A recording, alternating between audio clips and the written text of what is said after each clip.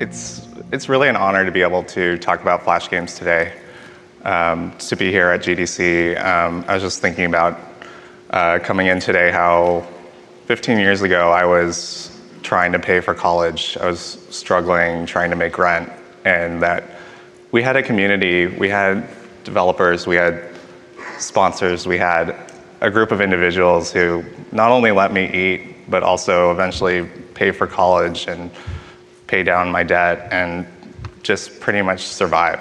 And um, this is the Flash Games postmortem. This is a, a talk about um, the indie spirit, about an industry that rose from the most chaotic place to make games, and then um, the fall of sponsorships and the fall of uh, technology and what happened next. Um, so my name is John Cooney. I work at Kongregate, um, and I'm just going to get right into it. Um, so we've always looked at flash games as these kind of lunchtime time wasters, these distractions, these um, things that we um, kind of take for granted. But but in reality, Flash games and developers, we really formed the foundation of the modern indie game scene.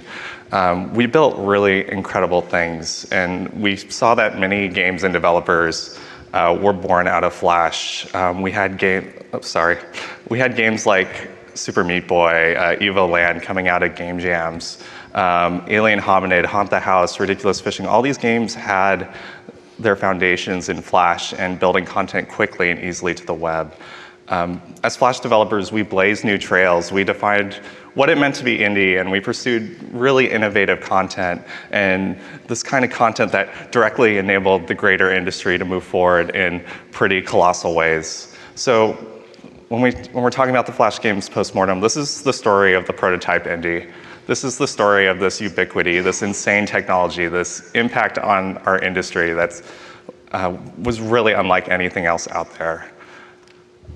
My name is John Cooney. I'm, I've been a Flash game developer for 15 years. Um, I've developed over 100 Flash games and I've produced 20 to 30 more. Um, I've worked on games like Achievement Unlocked, uh, this is the only level, Hedgehog Launch. Um, I was the creator of my own studio in college, which helped, eat, help me eat and, and, pay for bills. Um, uh, during that time, I also worked on Flashrights, which was a resource for helping developers find um, ways to figure out how to protect their work and to learn about fair use, um, talk about copyright. Um, I moved over to Armor Games and was head of game development there, um, worked on about 70 titles while I was there, and then I'm now at Kongregate working on our Premium Games Initiative and our Launchpad program, which is our incubator for experimental games. Um, really quick housekeeping. I, uh, we're, we're, covering about 19 to 20 years in an hour, so I'm gonna go really, really fast. There's about 150 slides, so I'm just, I'm gonna go nonstop. I'm gonna put the slides online because I think it's really important for you guys to go back and take a look at the, the games and just kind of everything that's been written. Um, we're also gonna post it to the Kongregate Developers blog, so you can get it there after this presentation. Um, I also really wanted to clarify that this talk isn't to talk about why Flash is dead and to make arguments. Um, we could spend hours doing that. This is really to have a conversation and to talk about um, the amazing things that came out of the Flash games community and to really reflect on the last 19 to 20 years. So, okay, let's go. Uh, in 1998, uh, we saw the birth of Flash, and it was because the internet was really slow and it was really young and um, back in 1998, we were using America Online and dial-up, and um, this was really like the normal thing to do was to have a dial-up modem and hope your mom didn't pick up the phone so that you lost your connection. Um, we were downloading illegal MP3s, um, but they took 10 minutes to do because it was they were so big. Um, and we didn't really have broadband at the time. Broadband was not really what we were having in our homes. Um, just for cultural context, this is the year that Titanic won the Best Picture as well, just to kind of show you how far back this was. And this is when Flash came onto the scene. Um, it was 1998, and Flash came into browsers and said, we're going to have this lightweight and powerful plugin so that people can create animations and interactive work. And it, we're going to make it really lightweight because the internet is so slow. Um, and it could do that because it leveraged vector technology. It really found ways to really push a lot of data and information uh, through, uh, instead of sending bitmaps or large image files, instead wrote the instructions for how the compiler should actually recompile the information back into the plugin. So um, instead of sending 60 frames of animation, which was really heavy at the time, um, it would just send the first frame and the last frame and, and use math to interpolate where that should be. Uh, to give more information on that, um, we can take a look at these two photos and say, oh, these are kind of the same photos, but in reality, the flash vector that was being sent was just a just a quarter of a kilobyte. It was tiny for the time, and this technology was really cool. Um, Flash came in two parts. Uh, there was Flash, the program, which you use to make your content, and there was Flash Player, the free plugin that you use to uh, display that content. Uh, Flash content required the download of the browser plugin. But luckily, this was the late 90s, and in the late 90s, you could get anyone to download anything. So it was, it was, it was we had uh, browser plugins, we had BonziBuddy. It was a great time for the internet because.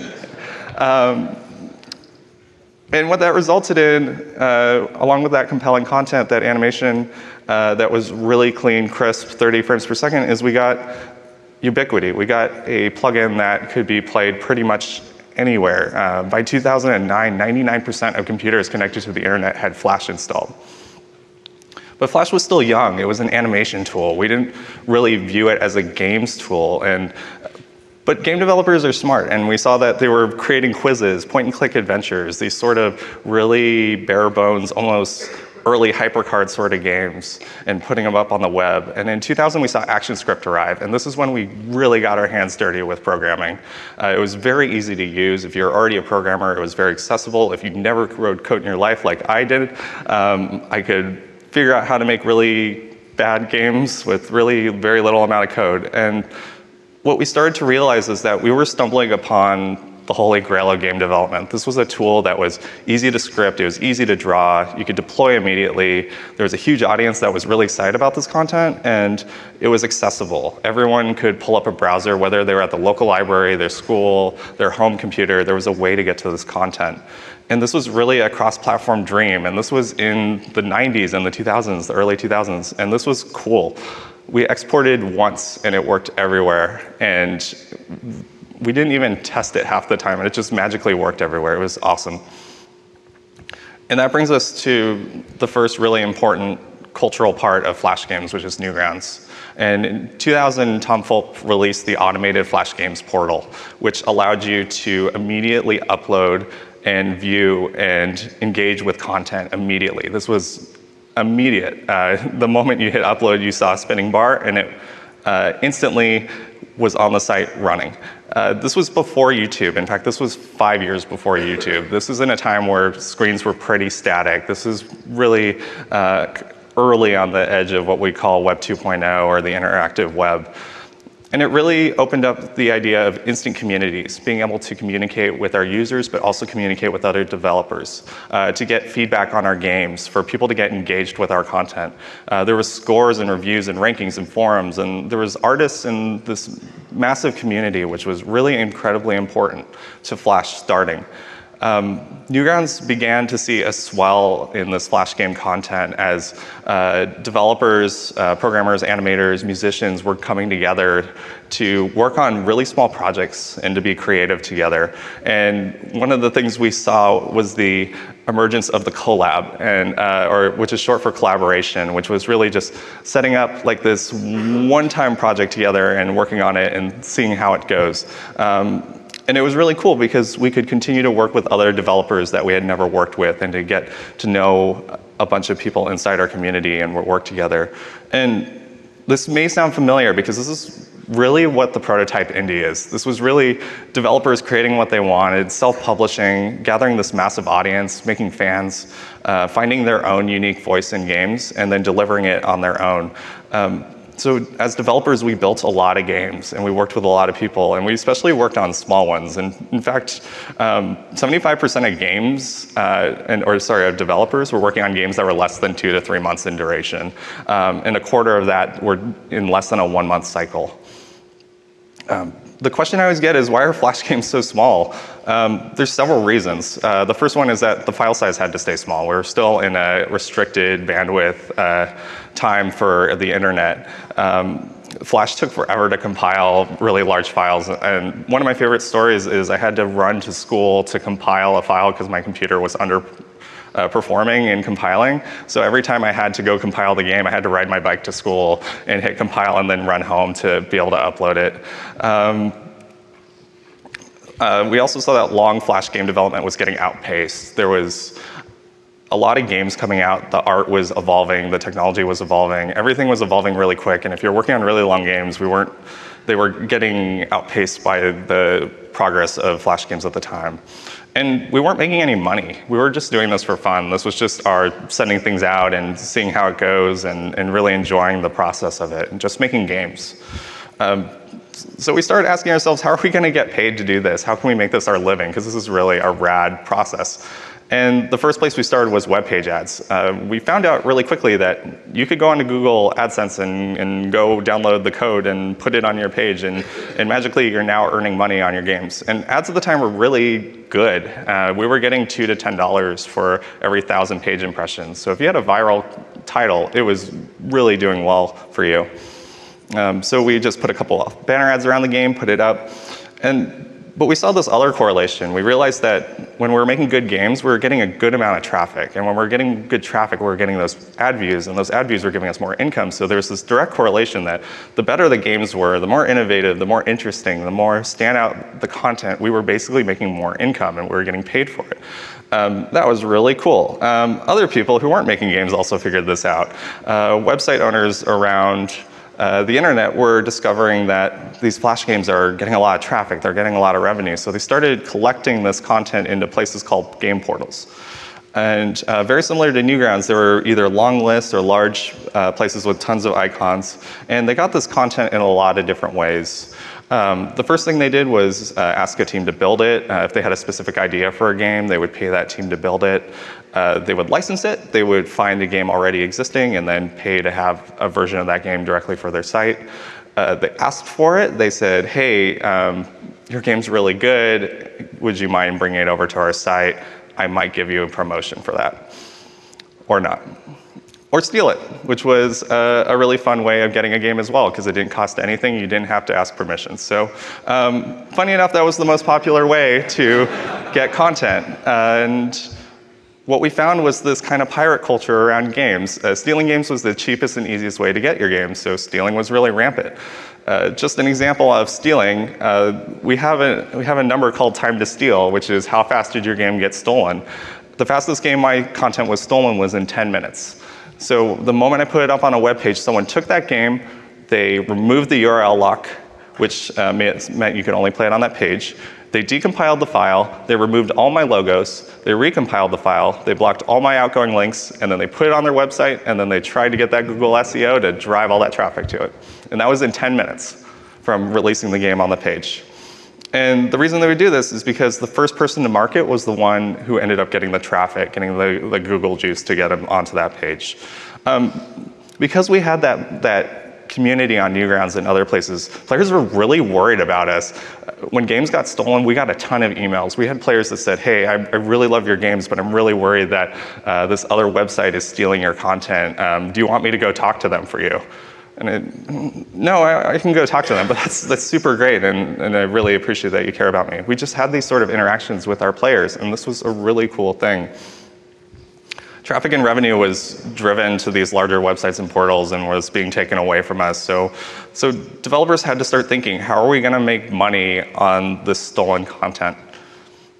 And that's when we saw the birth of the sponsorship market in 2005 we realized that there was a stolen game economy here, that games are going to get stolen. There was a way to make money off of that. And almost as a really cooperative initiative, portals started paying developers for putting their branding in their games.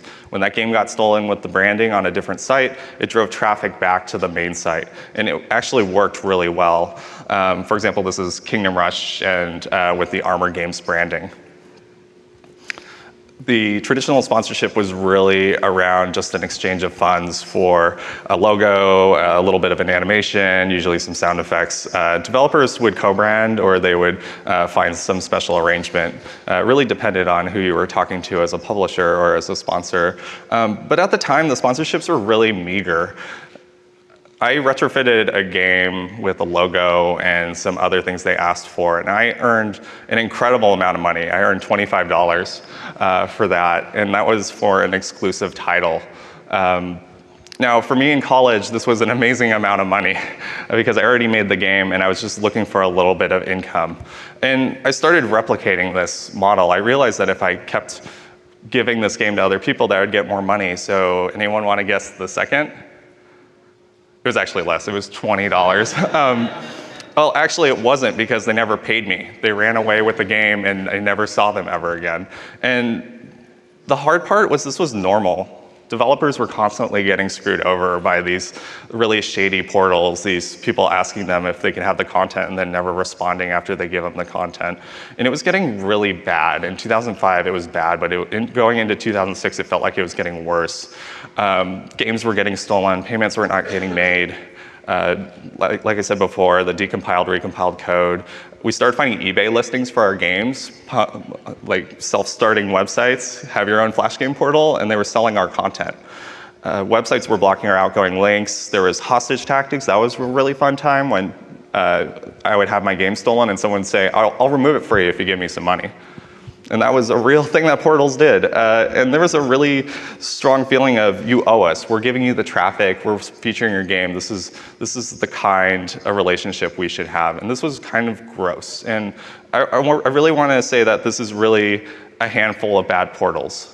This isn't everyone. This isn't Newgrounds. This was just a really set of bad portals. And they were all rising up together just because there was this gold rush on the Flash game economy. But luckily in 2006, there started to be a turnaround.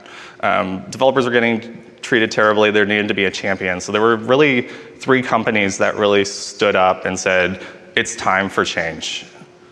The first is Mochi Media, which opened in 2006 by Jameson and Bob, and it was a self-service approach. You could go online and get yourself some in-game ads, some analytics, some distribution. You could check on where your game's being stolen and located. Uh, and the other interesting part is now that games are getting stolen with ads in them, you can now make money when your game got stolen with those in-game ads. There's different opportunities that were starting to rise up because Mochi Media came in and disrupted the model. This is kind of a homer pick, but Kongregate is also a really important part of Flash games rising up. When founders Jim and Emily Greer opened Kongregate, they really wanted to create a place where devs could get a rev share on the games that they post to the, to the site. Uh, so every developer would get a rev share of the banner ads and later in-game purchases when those became available. And Kongregate also was really really saw the importance of developer communities, player communities interacting with each other and engaging. It's a really important part of making games. And the final champion is Flash Game License, which was opened by Adam in 2007. And it was a place where you could go onto the website, post your game, and sponsors could openly bid on your game or would uh, uh, openly offer up how much they're willing to pay. And what this did is it really made the Flash game model really transparent. We started to see how much developers were making. It made sponsors really um, start to battle each other to try to get the best titles. And we started to see a shift back towards the developer we started seeing that sponsorships were getting competitive. Around 2005, sponsorships were reaching $1,000. But by the end of 2006, they were topping five and maybe $10,000 for content. And the high quality content was always in demand. And they were always getting pit against each other on FGL and other places. And this was the first time we started seeing developers were reaching full-time status. They started being able to pay to do this full-time, and their hobby is now suddenly the thing they're working on every single day. And this also really, in a really strange way, strengthened the relationship between sponsors and developers. Sponsors started to, the, the best sponsors started to stand out and developers started to get to know those sponsors. And there was this happy sort of relationship that formed when you found the perfect publisher or sponsor. Uh, the new options that started to open up from these from this uh, was revenue shares, uh, Mochi Media ads and content, contests and competitions, and then site licenses. All these sort of evolutions of the original traditional sponsorship model. And with this swing back to the developers in the forefront, with this innovative content continuing to come out and people becoming full-time developers, it really started the Flash game renaissance in 2006. And it was a really pivotal point for Flash games where uh, this really insane collection of developers and websites and, and fans and people in this industry became an industry. This, the Flash games weirdly became a, a game industry and it, it was really awesome.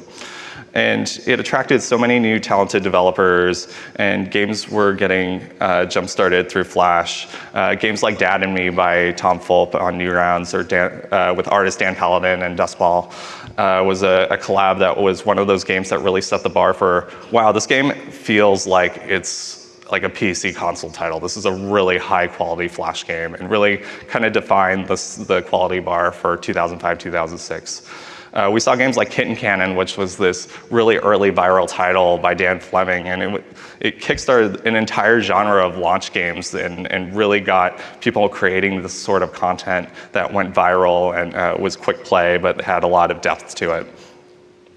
We saw games like Triachnid by Edmund and Florian, who uh, it was one of the earliest physics-based games on in Flash and was this really artistic vision and really kind of changed the way that we look at games on Flash this, this innovation continued to grow, especially under the sponsorship model. Developers could be really creative and, and build whatever they wanted because they knew that the most innovative work, the most creative work, the most polished work was going to be the one that got funded. So they continued to have free reign to work on pretty much whatever they wanted without a ton of guidance. And Portals kept pushing the developers to be more innovative, to do better games that are more polished and to stand out because when the developer was winning, the portals were winning.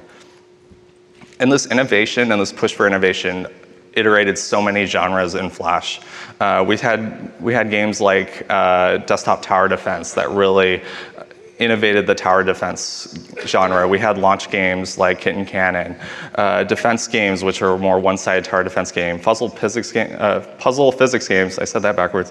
Uh, escape the room games. I, uh, yeah, we just had all these genres that were erupting from Flash and were continuing to be innovated in Flash. And we started to see that developers were using Flash as a benchmark to see if their innovative ideas worked. One of the earliest ones we saw was N from, Meta, from MetaNet, who created the game in 2005 in Flash and was a cult classic immediately. It was one of the first browser games to win an IGF Audience Award or an IGF Award in general. And it hit consoles and handhelds in 2008. It was one of the first Xbox Live titles. But seeing the success in Flash was what let that game end up on Xbox Live and continue to let it continue to live on PlayStation 4 and other platforms. Uh, similarly, uh, Super Meat Boy was originally a three-week development project in Flash that was launched on Newgrounds, and in the first few weeks, we actually were seeing that it was getting close to half a million to a million downloads just playing this game. And that was a really clear indicator uh, that there is something special here. And that's why Edmund went and made it into a full title. Um, this is like the early story of Indie Game, the movie that you uh, may not have seen. This is what was behind the scenes going on before uh, Edmund was uh, on camera doing that this really opened up the idea of virality that, that games would that great games would rise up, get shared everywhere, would get posted on social media or different websites, and, and viral was becoming an accepted real way to make games. And um, it was wrecking our websites. Uh, we were getting on Digg and Fark and StumbleUpon, and it was uh, the amount of tra- traffic we were getting was taking down our websites. In fact, uh, one of the scariest things in college was I had no money, and I had, but I had my game on a website, and I got a call from my bandwidth provider saying that you're not only out of bandwidth, but you're double up on what you were doing. And you didn't deploy your banner ads yet, so you weren't making money on this game yet. So I immediately had to turn off my website, and I couldn't turn it on for over a month until the, the ashes were scattered, and, and um, I was really sad. And um, it's a sad story. Um, so, uh, some games went extremely viral. Um, we have all played QWOP uh, by Bennett Foddy. Uh, it's this really wonderful, bendy, joint controlling running game, and it broke the internet. It was just it's this incredibly, incredibly easy game to share and to play with other people, even though it's a one-player game. Uh, it's one of the most viral Flash games of all time. And it was, and we all rallied and cheered uh, when it was featured on a television show. It was on The Office on NBC that you could see the office workers playing QWOP in the background. Um, it was also the inspiration of maybe the flash, the best Flash cosplay ever done. Um, we uh, saw games like Line Rider, which was one of the first games to have that sharing culture, uh, building tracks freehand, sharing them, playing them. It had currently Line Rider has 1.7 million videos on YouTube, and was some of the earliest pieces of YouTube content being shared. You can look at videos that are over 10 years old on YouTube that were from Line Rider. We continued to see our community grow. As we were more innovative, as we attracted more people, we worked with different people, and these communities started to appear all across the world. There was micro communities in various different countries. There was online communities uh, through Newgrounds, uh, Kirupa, TigSource, and developers hosted their own player communities. It was this really amazing time where we could talk about games over AOL Instant Messenger, which was our uh, chat program of choice. Um, we were talking on email forums, we were learning how to program together, we were growing together as a community. And it was really important for Flash to have these communities growing together. And Ludum Dare was another community that was growing. And we found that a lot of games coming out of Ludum Dare were Flash games because it was just a natural progression for these tiny little experimental games that you could work on. Um, we saw a lot of Flash developers between Ludum Dare 19 and 28 building great Flash content. And the younger developers started to rise. We saw developers like Tyler Glaiel uh, who worked on Closure and Aether, uh, start to uh, come out of the scene because he was given the opportunity. He was 15 or 16 at the time, and he created a procedurally generated physics-based terrain game called Crazy Car at age 15, and it was at 2 million plays by the end of uh, 2005. Another developer that I know personally, Chris Jeffs, he, he sent me a quote, and he said, I never I never even knew I'd fall into games industry at the age of 16. Having full creative freedom to make games that anyone could play in their browser was insanely cool. And without Flash, I wouldn't be doing what I loved. He was, he was given that opportunity to stand out and to do things uh, in games, which was a really powerful part of Flash. Um, here's a longer quote from Anya, who was the developer relations manager at uh, Nickelodeon or Addicting Games. Um, this is one of my favorite stories in Flash, so I wanted to share all of it. Uh, we had a developer who made irreverent, slightly minimalist games. We found based on his humor and skill, he was maybe 25, uh, but his dad always signed the contracts, which we thought was really odd. And then one day he sent us an email saying that he bought his first car, and we were like, oh, that's kind of late for buying your first car. Um, but turns out he was only 16, and not only was he buying his first car with the money he had received from licensing his Flash games, but he had just got his driver's license the Flash game community really let young developers rise up and get their first titles out there and succeed. A lot of this was due, due to the fact that tool sets started to emerge around the Flash game scene. There was a lot of really great titles coming out of these tools as well. Uh, uh, tools like Flashpunk who was uh, Chevy Ray Johnson's library for making Flash games. It, it really uh, helped elevate developers and get them past the initial problems of that Flash developers had to figure out, like how are you going to deal with delta time or animation or collision? And it resulted in titles like Give Up Robot by Matt Thorson, the creator who uh, went on to make Towerfall, or Radical Fishing by the Vlambeer team, and Super Puzzle Platformer. And then we had tools like Flixel, which was this gorgeous um, tile-based editor, which pretty much covered everything you had to do in games. And if you were going to make a tile-based game. And that was created by Adam Saltsman and uh, ended up with titles like Canabalt and Looming and Tower of Heaven. And then Starling came out later in the, in the game uh, by Gamua, and it was a really nice tool because it leveraged the uh, access to the GPU for the first time, which was amazing because uh, everything was on the CPU before that. And we had games like Incredipede and Samorost and Haunt the House come out. And we saw Flash evolve as well. We, we were in ActionScript 1, we were moving into 2, and now, but, but now we're in 3, which was object-oriented programming, uh, more mature tools, and animation performance was getting better. So everything was on an upward trajectory.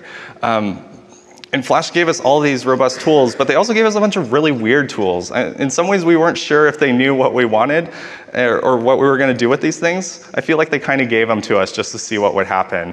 Um, so as curious developers, we just kind of ran with it. Uh, one of the first examples is Flash had local save objects. Uh, these wouldn't reset with your browser cookies. So a developer named Raytendo uh, created a game called You Only Live Once. And the first time you play through the game, you get as far as you can, and once you die, you're dead. And players could not figure out how to reset the game. Every time they reset the browser, it would show a different scene of what was going on in the game. The first time there was a funeral, the second time you see the body getting buried in the ground. Each time, the player frustratingly trying to figure out how to reset the cookie so they can try to get further in the game, they would see another scene. I think there was like six or seven scenes. It was really hilarious. Um, we knew where you're loading your Flash files from, and players didn't know this, and some portals didn't even know this. Um, if there was a portal we didn't like, we did things like mess with the difficulty or flip the screen upside down, or we, we, were, we just played these practical jokes as developers. Um, but we also used that to our advantage. We sometimes created specialized content. For example, if we knew the game was being played on Newgrounds, which is somewhere we really liked, we would put in special features or kind of pander to Newgrounds a little bit. Um, we were very much a pandering audience in Flash. So. Um, Flash did this insane thing where you could load a Flash inside any other Flash file, and you could have that Flash file load another Flash file inside that Flash file. And you could do that at runtime. You could do that whenever you wanted. And it was this really weird thing that you could build these nested experiences through. Um, you could also talk to other Flash windows. I had a game called Achievement Unlock 2, where I had one window open where you were playing the main game, but if you just weirdly opened up another window, it would take you to the iced coffee mod, which was uh, a counter to the hot coffee mod from uh, Grand Theft Auto. And there was uh, iced coffee there. Um, and there were secret achievements in that window. Um, another fun thing that we got access to is Nintendo Wii's Opera browser decided one day it was just going to support Flash. and we decided that we were going to take advantage of that. So a lot of developers started creating their own portals around Wii-based Flash games. And we, it, it wasn't it wasn't an amazing experience. In fact, it ran kind of slow and it was kind of it was kind of awful. But uh, it, it, was the first time that we got to say that we made a console game, and and then just smile at our parents. Um, and Flash was kind of crazy, and, and players were really engaged with us. Engaged with us. But one of the funniest things that also happened a lot is players mistook our bugs as features. Um, a developer named Oliver Joyce made a game, game called Swords and Sandals, and uh, he was using an array but didn't really um, realize that if you put commas in the player's name box, that you could kind of screw with the array that had all the save data in it. So players started creating this phenomenon called the comma hack and they would create these videos that were getting quarter of a million, half a million plays in them to explain the comma hack. And this culture around hacking this game opened up. And when Oliver went to go make the next Swords and Sandals, the biggest question he always got from players was, is the comma hack feature going to be in the next game? Because that was our favorite part of that game. So Flash had really weird features, but it also kind of let us be weird ourselves. We created all these really odd, interesting, kind of out there games. Um, one of the best examples is Don't Shit Your Pants, which was a text-based adventure. It, it, it's an it's, it's a 20 second simulator of walking to the bathroom as a text-based adventure. And it was one of those games that was just really obscure and really different. And we point at and say, oh, yeah, that was Flash. Um, that team went on three years later to make Rogue Legacy. And uh, if you're walking around inside the castle in Rogue Legacy, you'll actually see pictures uh, from this game. We had games like Robot Unicorn Attack, which uh, for me, I think it really defined the kind of games that Adult Swim worked on and, and the style. And the, the, the song Always by Erasure was um, a song that I can still hear in my head in the middle of the night. And it, this game just kind of blew up into the stratosphere and had, a cult, and had this really nice cult following and the, had ports to iOS and Android. And this is going to be the one slide where I talk about myself. Um, I worked on a game called Achievement Unlocked, which was a game uh, where all you do is collect achievements, and that's really the goal of the game. So just doing really dumb things inside this environment, and whether it's uh, typing in the Konami code, whether it's refreshing the page, whether it's um, not touching any buttons for five minutes, like those sorts of things that um, aren't really a game, but players seem to really enjoy collecting and filling out lists. So uh, I made 500 things to do and just let players spend their afternoon trying to figure out what those were. Um, it was, uh, my favorite part of the game was there's a guinea pig stuck in a hamster tube. Um, it's just, that's just me though. Uh, the flash game industry continued to grow. And by 2009, 2010, the trajectory was insane we were seeing popular releases for games getting over a million plays in the first 24 hours. Mochi Media at the time was serving 40,000 portals. Uh, th there's a ton of tiny Flash game sites, and we were seeing our content spread across thousands of websites. And we had our first Flash Gaming Summit. We met up in San Francisco here uh, back in uh, 20, 2010, and we, for the first time, were face to face with each other because we had never seen each other. We, we worked on the internet, and every once in a while we sent chat messages. I I didn't meet the artist I worked with for three to four years until Flash Gaming Summit. In 2009, these portals were getting crazy traffic. Miniclip was hovering around 250 worldwide. Newgrounds, Armor Games, Kongregate, all top 1,000. Addicting Games pulling up on Miniclip. And the, the new models for making money were still rolling in. There were sponsorships with bonuses. There was pre-roll ads, interstitial ads, and microtransactions were starting to come into the game too. And by 2010, we were seeing sponsorship prizes rising to over $100,000. This is just a reminder, these are games where we just are going to do whatever we want. We're just going to put in all these features. We're going to do the art in the way we want to, the player or the, um, the team we want to build, and we're going to get paid up to $100,000 for this game. That's a pretty remarkable thing. And uh, the sponsorship deals were getting even more complex, and uh, developers were starting to get their rights secured for sequels because the best developers were starting to get locked down by platform. By 2009, we were seeing that 30% of Flash game developers were using this as their full-time job. Um, and 60% of developers were just working on their own. They were just uh, working solo on a lot of their projects. Um, and the other fact we started to learn is that 16% of all developers were making more than $1,000 a month on their games. We started to see lots of different regions start to benefit from Flash games. A lot of smaller, um, it wasn't just US, it wasn't just Europe. We started to see these uh, smaller game communities start to rise in other countries as well. With Flash rising, we, by 2011, we saw over 18,700 titles on Kongregate.com in just 2011 alone. That's averaging 50 a day, and that's around every 30 minutes someone is uploading a new game to Kongregate. Uh, it's also worth noting that Newgrounds at the time was uh, peaking somewhere around 200 uh, for games coming in every single day, or sorry, animations and games coming in every single day. There was a lot of content being made. We also saw the rise of social games, which were uh, all Flash-based, and we're starting on a new portal called, or uh, a new platform called Facebook. Uh, and Facebook games had this big bang that started with a gold rush, and many larger companies were exploding on the scene, trying to uh, cash in on this new uh, social media thing that was going on. Uh, the age of microtransactions begins, and we start to see that uh, these microtransactions were starting to be used in uh, casual social games, but also MMOs and RPGs. And we started to see that Flash games were making a lot of money. Uh, Farmville in 2009 made a billion dollars in revenue by 2013. Um, it's pretty safe to say that this is the highest grossing Flash game we've ever seen.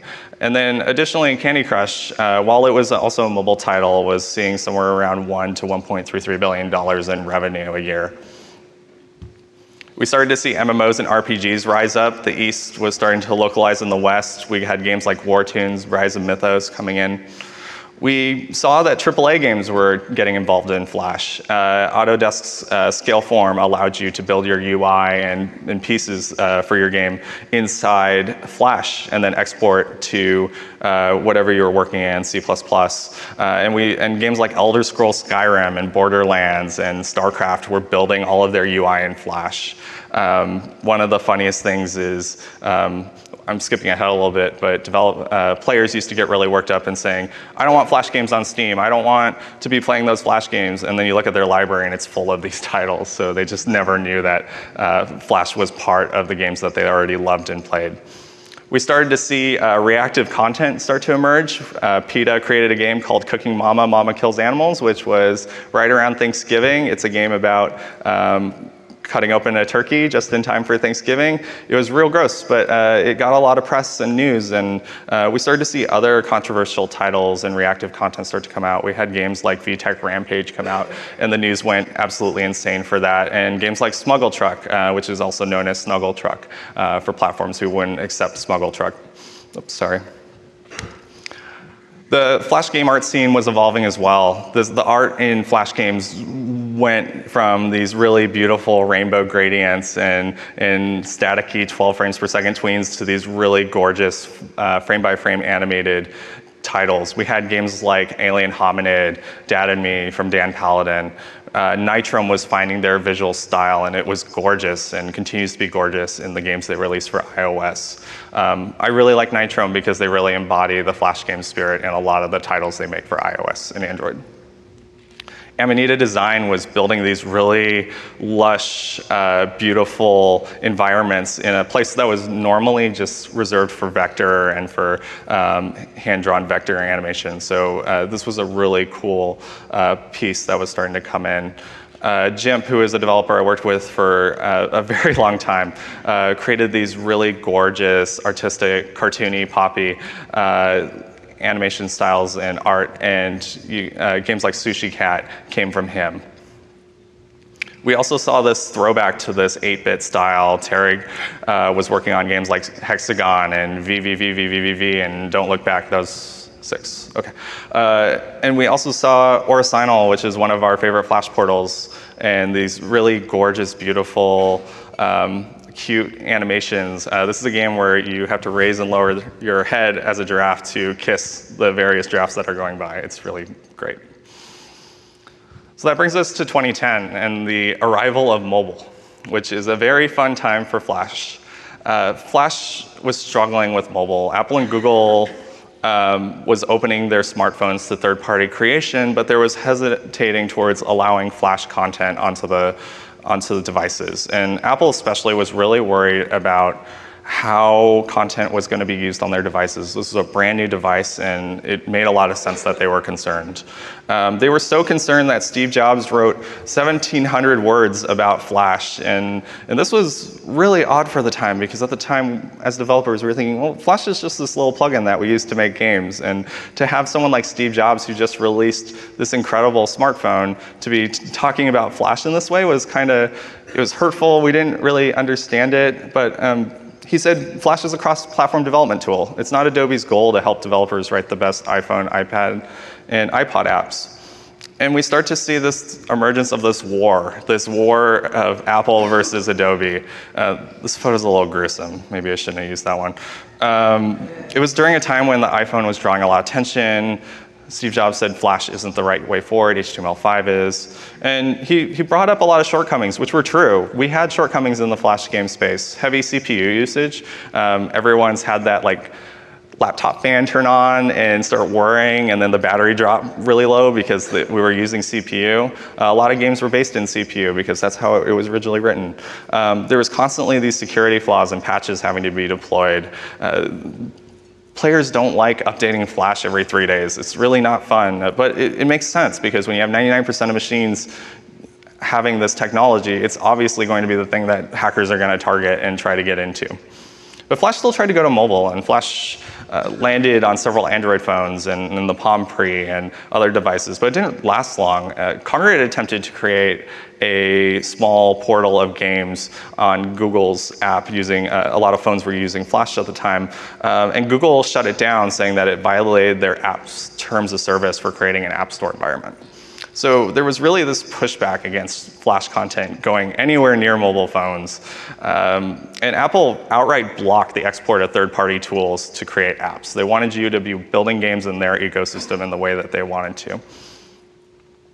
And so Adobe responded by running these ads that were a little backhanded. They, they said, um, we love Apple, but we just don't like how they do business.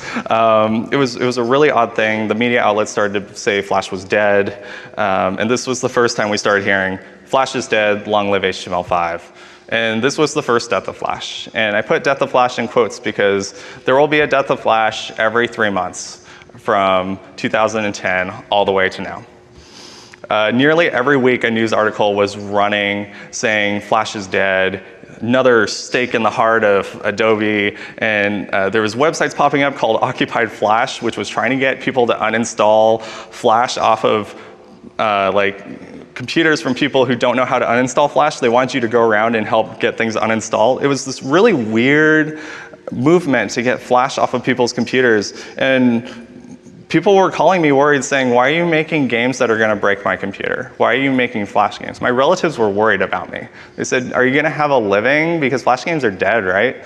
It was, it was this weird, heavily covered rally by the news organization that, uh, about a browser plugin.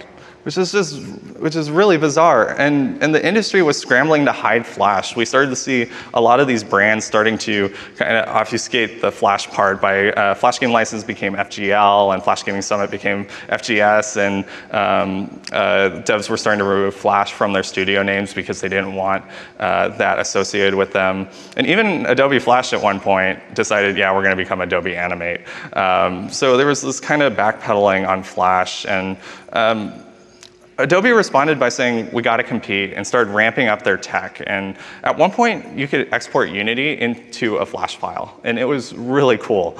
Uh, and they started announcing that they were working on ActionScript Next or ActionScript 4, depending on how you like to look at it. And we started to see a new generation of Flash programming start to emerge. And there was gamepad support coming, so we could make gamepad games. And that was the coolest thing in the world. But um, they also, around the same time, started saying that they're going to charge a 9% rev share on anything you make that makes over $50,000 but only if you use these certain technologies in this order, uh, which was really confusing for developers. And developers were already paying a monthly fee for these games, or to make games with Adobe, or were paying 700 a year for the upgrade every year. So they were really confused on why they had to pay a rev share on top of paying for the tools. Um, later, Adobe would drop ActionScript 4 plans. Unity would pull out their Adobe Flash support. So it wasn't looking really good for Flash, and developers were really worried, and they didn't know what to do. They were confused. They didn't know how to go forward. Flash felt like it was dying, but only because everyone was telling them it was dying. In reality, the Flash portals were still doing really well. Um, do they stick with Flash, the tools they know and love? Do they move to native code to try to be on mobile? Do they uh, move to Unity, which was uh, starting to appear and was starting to export to web? Um, no, HTML5 our, um, our savior was, uh, was being rallied super hard by everyone. Everyone wanted HTML5 to come into existence and to replace Flash into, uh, even Steve Jobs called it out like seven or eight times in his, in his uh, very long uh, essay on Flash.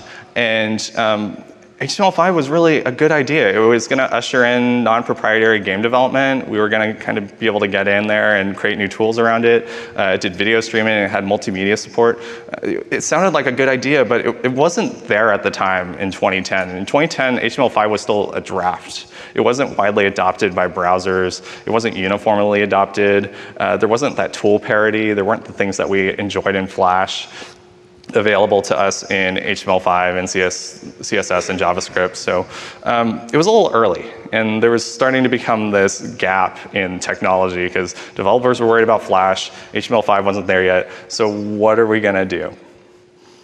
And in 2013, we start to see the collapse of sponsorships as sponsorships started to decline, it was really, it was a lot of things, but um, uh, one of the biggest ones is that web ads started to decline in revenue. Um, this was from a few different factors. Mobile was up and coming, ad block was coming in and wreaking havoc on people's ads. Um, uh, developers needed to start using in-app purchases and other things to supplement their monetization because uh, it was no longer feasible to just build whatever you wanted, send it out there, and hope that banner ads were going to drive the revenue for it. Uh, less games were coming out because there was less money there, and, and lack of sponsorships meant less traffic. So there was there became this decline from 2013 to 2016 um, to now of, of all the portals starting to slowly decline in traffic. Um, to kind of simplify this graph, I, I, just averaged all of it. There was this uh, slow decline downward the sponsorship market pretty much slows to a halt. Uh, the large portals slow down or even just stop on sponsorship. There was no long, longer enough value to be working on these really expensive games. Uh, the smaller portals have to start folding because the large portals aren't creating new content and there's no way for them to get new content if the large portals aren't sponsoring. And by 2014, we saw Mochi Media shut down. And the company was one of those early companies that really came in and helped us make games and, and be creative and be able to self-serve with these tools and services. So that was a really painful moment for our community. And it happened right before GDC. Um, in addition to that, FGL in 2016 announced that they were going to slow down and stop the sponsorship marketplace as well there. Um, FGL is still working on other tools and services for developers, but uh, the main sponsorship portal is down. And we start to see developers leaving Flash, and they spread out in all directions. Um, we had developers who were uh, staying in web games, working on HTML5, working on Unity export. We had others working on mobile PC games. Uh, but many developers actually just got up and left the scene. They went, and, they went on to work on careers. Uh, one of my favorite developers became a travel agent and loves being a travel agent. Um, but some still remained and made games. They made it work. They adjusted to this, this crazy collapse of sponsorships by finding ways to continue to make profitable games. And it was really this amazing thing that um, even today, Flash game developers are making money on their games. After Flash, we continue to see the exports of, uh, of Unity and Unreal and uh, these other really great technologies. 3D is starting to become more commonplace in browser games. And we really start to see this shift in technology usage on Kongregate, especially around the turn of uh, 2010 when the uh, uh, panic over Flash really began. And even now in 2017, uh, a minority of our content coming into Kongregate is Flash, but it's still coming in and it's still uh, being enjoyed by our players. The biggest uptick we've seen is HTML5 taking off, uh, and that's a really great sign for the web platform. New tools emerge for those developers who were working in Flash. We have HaxeFlixel and OpenFL, and we got a lot of great titles out of that. Uh, games like Papers, Please, and Defender's Quest, and Cardinal Quest. We start to see new portals arrive. We get to see itch.io and GameJolt come in and provide these really great user experiences around downloadable games. And we start to see portals also move into publishing. A lot of these portals were working with developers who are making really great games on a daily basis. So becoming a publisher made a lot of sense for them. Uh, Kongregate, Miniclip, and Armor Games are some of the bigger ones that turned into publishers as well. And Flash continues to slowly get phased out. We continue to see uh, first banner ads were starting to slow down, and then we start seeing ads getting paused. Um, soon games will be click to start. Uh, there's been this slow progression of Flash functionalities becoming less functional. So now that we're in 2017, what have we learned from all this? What is, what is everything we've done since 1998 really taught us? And what has Flash Games really done for us? We learned that ubiquity is incredible. We learned that being able to put your games anywhere for anyone to be played across the world is an incredible experience spending time porting, getting your game ready, doing all that is a lot of work. But being able to export once and get your game everywhere is an amazing thing. And we haven't had a technology reach that level of ubiquity yet. Through Flash, we learned that sharing culture is really important. Being engaged with your users, being engaged with other developers, trying things you're not willing to try with people you haven't met before, but that you really want to work with, and then sharing your work with others. It's a really important part of being a game developer, and it's a really important part about being creative and thinking outside the box and being comfortable with what you do. We learned what it meant to be an indie. We learned that we learned that the modern indie game scene was really influenced by Flash, and we saw that we could make money to eat. We could become business owners. We, we learned how to do taxes. Uh, we made quirky little games, and, and we ran our own businesses, and we were innovative, and we embraced it. We set a precedence on how game developers and their games should be treated. We thought about our relationships with publishers and sponsors and how it used to be awful. We found a middle ground. We found a way to work together. We found a commonplace way for really great content to be featured so that it was a symbiotic relationship. We were collaborative. We weren't aggressive towards each other. And we continue not to talk about Flash's impact on games enough. I feel like that under the stigma of Flash, we, we really don't give it the chance to breathe and to talk about games. Or being here right now is, is a privilege for me because I get to talk about Flash games. And we, we just do not talk about it enough. And I have a constant fear that Flash games one day won't be with us. That we'll lose millions of games because browser support will end. Or that we won't remember all the important things that Flash games have given us. And the reality is that ubiquity is going to die with Flash if we don't find ways to encourage our platforms that we work with now to try to reach ubiquity faster. Flash games have pushed indie games forward in a really big way. It's a big part of our history. And um, it's always lived in the shadow of the uh, indie game movie and the and the uprising of the modern indie, and and which is a really great story and is a really great part of our industry.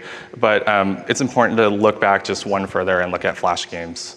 But ultimately, the thing we need to really focus on are the things that we're going to lose with Flash and making sure that in the future we have these things for ourselves, but also for the future generation of developers that come after us. Those things like community, working together with other developers, showing your game, being feeling like you can do that in a way that's productive and working with players to make sure your games are fun. Accessibility, making sure that everyone can get to your games, making sure that your games are not only accessible to the players that are playing at the library, but are also maybe playing on their phone or somewhere else. Rapid innovation, the ability to just game jam, to make just make stuff. That's the most important thing you can do as game developers is to make. And rapid innovation, rapid iteration, getting your games up is so important. And of course, ubiquity, the ability to be anywhere and everywhere that you could ever, ever want to be with your game is so important. And this, these are the things we need to chase as an industry, and these are the things that are really, really important for us to support. And that's it.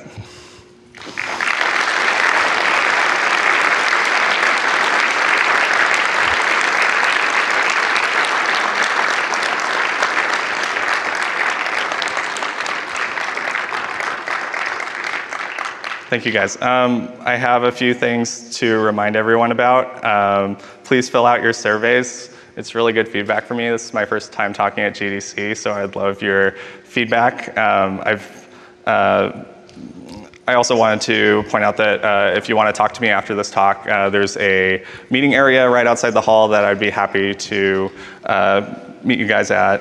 Um, and I think that's it. So I think I have like two minutes, so maybe two questions. Go ahead. Thanks, John. Uh, that was a fantastic and very bittersweet uh, uh, lecture. So my name is Mark. Uh, I have been making Flash games for about eight to 10 years, and my question is more specifically on Kongregate on the user side. So that graph was very informative. It seemed like sure, HTML5 was spiking and the Swift was declining slightly, but what is the, the demographic of Kongregate on the web? How, how do they feel about Flash games? Like, do they play a Flash game still and they're happy about it, or they're like the media and press that think it's Flash games are evil and yeah. and, and they, they avoid them? So I'm curious to hear your thoughts of what the Kongregate user base thinks of Flash now. Yeah, the, the reality is that the reality is that Flash games that were made 15 years ago still work today. And a lot of the games on our site still function just the way they did 15 years ago, which is pretty amazing. And especially as a developer, being able to look at, uh, I uploaded my first game to Kongregate Newgrounds, and um, man, it's an awful game, but it still works. And uh, players, what we've realized on Kongregate is that players who want to play the games that they're coming there to play will actually go and whatever way they have to go and play those games. Uh, when we saw the uh, Unity web players start to get pulled out of Chrome, we saw a shift of about 10 to 20% of our users switching over to Firefox so that they could still engage with the Unity web player games. Uh, players want to play this content. Um, players have voiced that they're nostalgic about this content. Now that games are much older, maybe they um, started playing these games and it inspired them to be a developer. So they're still, developers are really still excited about this content. They're still excited about Flash games. They're excited about where uh, the future of more 3D titles for web will be going. And it's, for the most part, uh, they are not voicing their anger towards it as much as they're worried that the developers won't be making games in Flash anymore. Thank you. Hi, my, my name's Matta. I uh, ran a company making Flash games and animations every two weeks for seven years.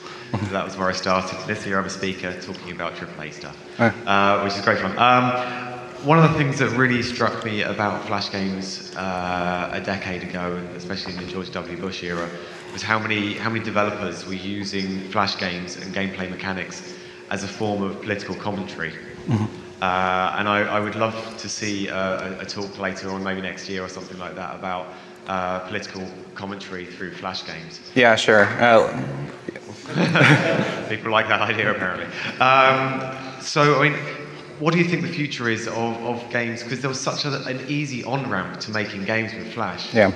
Do, do, do you think there's a future of political games that would never be picked up by a publisher Is there a platform where people can do this in the future, do you think? As, as long as the web is an open marketplace where we're all able to access it in the same way that we do now, that there's not any sense of some people get priority over the internet over others. I think as long as we have that, we'll continue to have a place where we can create games without the struggle of a platform saying, no, you can't do that. The ability to upload our own games to our own websites. I think it's incredibly important that the web stays open and that it continues to be a place where we can voice our opinions through our titles.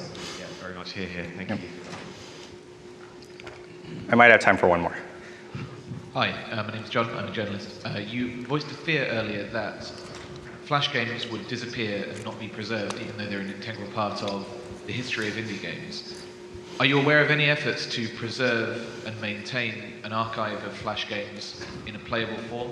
Uh, is that logistically feasible? And is there anything that Kongregate can do to help that along? Yeah, it's something that we've talked about internally about uh, what will be the future of Flash games, but um, we haven't landed on anything. And I know that a, bunch of uh, various portals and developers are also thinking about it as well, whether it's porting content or moving it towards something else. Um, I don't think we have a really good plan in place yet. Um, Emily's looking at the microphone, who's the CEO of Kongregate, so. I'm the CEO of Kongregate, and I have multiple meetings on preserve flash going. So there's, there's not a good plan yet, but there is a ongoing plan. Emily said that she had a meeting, had several meetings this week on how to preserve Flash, and it's going to be an ongoing conversation on what to do with it. Cool. All right, I'll be uh, right outside. Thank you so much, you guys.